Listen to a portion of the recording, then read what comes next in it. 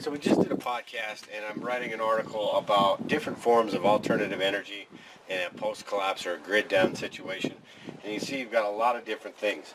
I've got a really large generator here that is a gasoline generator. Probably takes up quite, well it does take up quite a bit of fuel and it is really loud. I'll start this in a second and show you. Uh, we've got the propane grill right here, which these are pretty accessible. Uh, and you even got the, out in the back, we've got the charcoal pro propane grill. But you've got to think about the smells. This would be a little bit better because in a ventilated area, it's possible we could get it inside.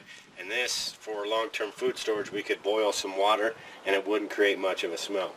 Uh, this right here is the portable generator that I made. It's got a 100 amp hour battery with this small solar panel. I need more solar panels but it's got a an 800 watt inverter and it can I'm going to take these clips off later but you can plug this in and use it for minor stuff. Right now I need more solar power. This uh, isn't going to last too long. Then you've got the small little USB charger for maybe cell phones uh, radio stuff like that.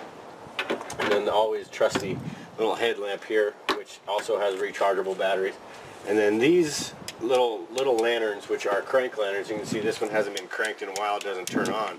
But if you crank it,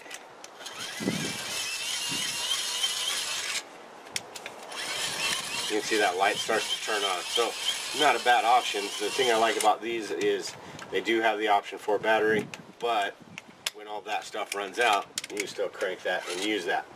Um, as far as the generator, that would be something that you would want to do use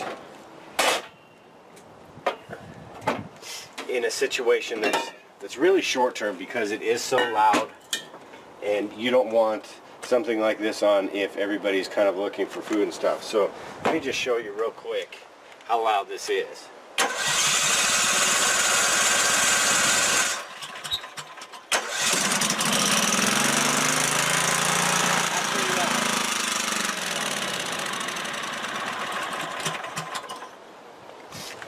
So, needless to say, this is this is great. It's an 8,000 watt generator, but this is going to be a beacon for people coming to see what you have. So, there's a lot more options than this, uh, but this is just a, a few ideas, a few things that I have laying around the house.